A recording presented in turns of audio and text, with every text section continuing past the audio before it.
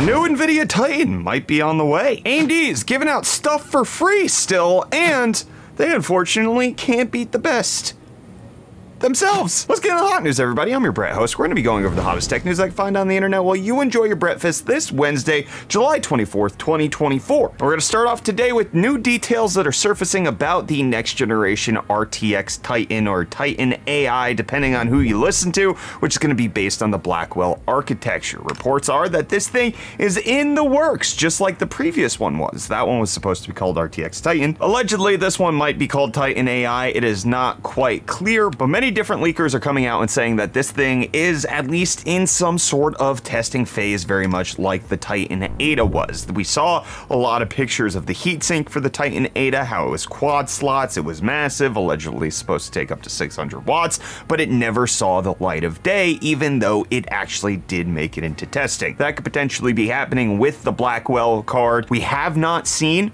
a Titan card since NVIDIA decided to come out with a 90 series, which feels like it's essentially replaced Titan, but it's it's always been a weird little situation that they've had with that, especially once they did come out with the Titan Volta. The RTX 2080 Ti didn't really have a Titan above that. We had the Titan V, and then now it looks like the 3090 is supposed to be the Titan and the 4090 is supposed to be the Titan, but Nvidia could just as easily rename it. But those prosumer cards are in a weird space anyways with anybody who needs the redundancy and reliability of a Quadro is probably just going to buy that. And anybody who's looking for the highest end gaming card can likely just stay with GeForce. Kind of the same thing that happened with high-end desktop chips on the CPU side of things. Threadripper went to workstation because that prosumer area is a little weird, and it does look like AMD is giving Threadripper another go when it comes to the prosumers, but we'll see if that ends up lasting.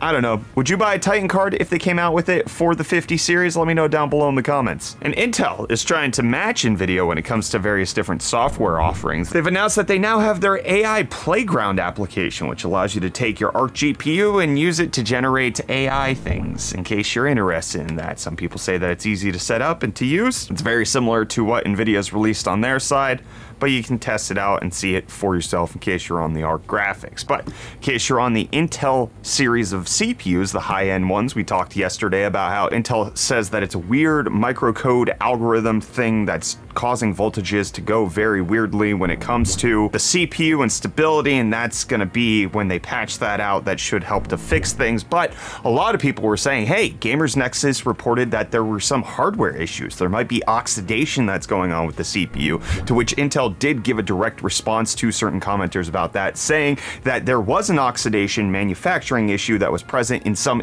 early Intel Core 13th gen desktop processors. However, the issue was root caused and addressed with manufacturing improvements in screens in 2023, and it seems like it was limited to 13th gen processors and should not be affecting the 14th gen at all. So while that was a problem, it doesn't appear to be causing this widespread issue that's being across everybody who has the CPUs. This is obviously something Intel still has to stay on top of, even though they announced that there's a microcode patch that's coming. I saw a tweet from somebody who's ahead uh, at Unreal saying that they're switching to 9950Xs as soon as they come out because the stability and reliability of Intel so far has been about 50% for them, and that's not anywhere near good enough for them to run their company. So we'll keep you updated with how everything's developing with the microcode patches for 13th and 14th gen while Reece updates you with deals so you can save money on your tech products for your PC build. Yo, welcome back to UFD Deals, bringing the hottest tech deals out on the internet. It is Wednesday, my dudes, and we have some deals for you. Starting off with this Logitech Brio 100 1080p webcam, which is currently going for $24.99, making it $15 off.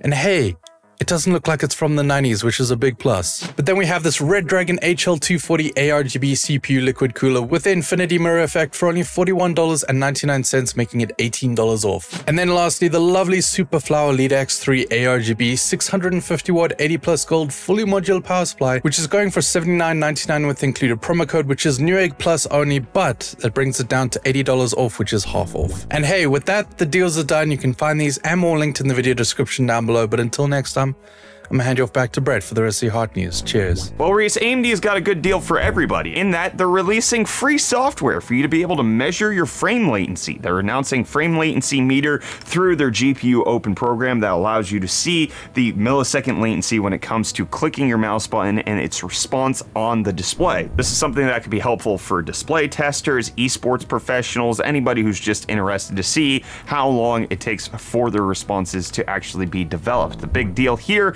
is that NVIDIA sells a setup for it called LCAT, whereas now AMD is making it available to all GPUs, not just their own. I think I said LCAT, I meant LDAT, but now frame latency meter, part of the GPU Open program. You can check it out for yourself in case you're interested. We can check out some specs on the Intel Ultra 9 285K, the CPU Z screenshots making the rounds. It's got everything that we've heard from leaks, but now in a nice little CPU-Z package. You'd see it's Arrow Lake. They uh, got rid of a bunch of different things, but you can kind of tell exactly what's going on. This thing's running at 5 gigahertz. There's not a whole lot of information in that screenshot that hasn't already been alluded to by previous rumors. 24 cores, 24 threads. They are dropping hyper-threading, it appears, and it looks like it is at least being tested. It's an engineering sample. Speaking of being tested, though, the 9900X getting tested a week before its retail release by an Italian YouTuber who appears to have gotten his hands on a retail sample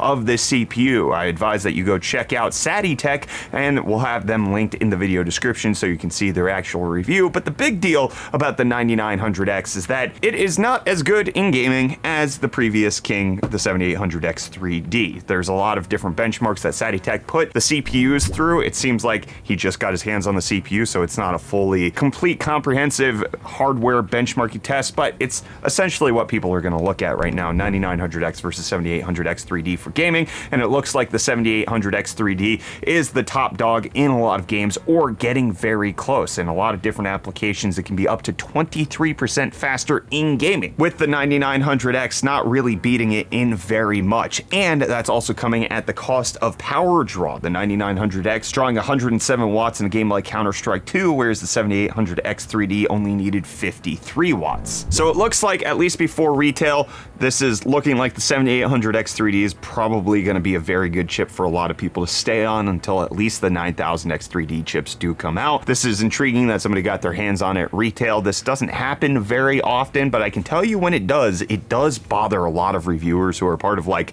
the embargo program because they're like, I have to wait. I have these numbers too, but you're getting all of the views because you didn't do it through the official means, which, you know, uh, YouTube's a game of getting views, and I don't harbor any ill will to somebody who uh, got their hands on a retail chip. This happened, uh, I believe, when the 2400G launched. Uh, another YouTuber got their hands on that chip from Amazon. It got delivered a little bit early, so they had the first review, and this created the whole story of like, oh, you shouldn't be posting it because the embargo's not up, but they didn't sign anything. They're not in contract with AMD. That's not their fault that this actually happened. So it's intriguing to see a full video review of the 9900X up already.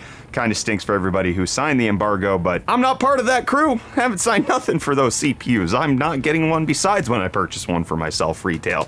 And you guys can purchase my attention by typing comments down below. And so I'm going to review what you said yesterday. Over on Floatplane, we got Kryptonite saying, sounds like it's time to go AMD and Linux in my next build. You're just talking about a Steam Deck. Just, just go get a Steam Deck. That's AMD and Linux combined into one nice beautiful package. Then over on YouTube, we got Atomic Menace saying, missed opportunity to put the core issue. I'll leave that type of punnery to somebody who's a better at dad jokes than I am. I don't typically go with the, the puns when it comes to titling things, but let me know if you want me to. I won't, but uh, I will hear your opinions on it for sure. And then we got saying Intel's microcode update will not address lasting damage to the silicon from the high voltage period. I absolutely agree, which is why I think one of the things Intel needs to be doing beyond saying we want to work with our customers or whatever passive language they happen to use, they need to be coming out and explicitly saying if you have a processor that is faulty, we will replace it. That it should just be in no uncertain terms, all right? These CPUs could poten potentially be getting damaged by the voltage. That kills CPUs. That makes them unstable. If the microcode patch isn't going to patch it out, what am I supposed to do at that point. Uh, trust that you're going to resolve this, even though it's taking you three months to get around to issuing the patch in the first place. I want clear communication that you're going to address it by giving me a full replacement, which there were comments of people who said that Intel is offering that to them, which is good to hear, but I want to hear it as a policy, right? That should be announced with the patch thing. If you are unsatisfied or your chip is actually unstable, we'll make it right. We will replace it. We will make sure you get everything that you need. That's what I would like to see here. And then Kaka No First saying, I'm not trying to be mean, but damn, at this point you should buy AMD if you want high-end CPU. I don't think that's mean. I think there's nothing mean about it. I think it's just the clear facts that Intel has created a situation where they lost trust with their customers because their CPUs weren't operating the way that they were supposed to.